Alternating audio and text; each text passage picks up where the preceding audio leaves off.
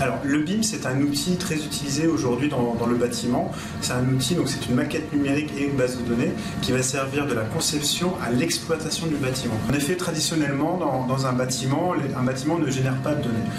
Aujourd'hui, avec le BIM et les smart buildings, euh, le BIM va être un point central de convergence des données. C'est dans cet outil-là qu'on aura l'intégralité des données du bâtiment.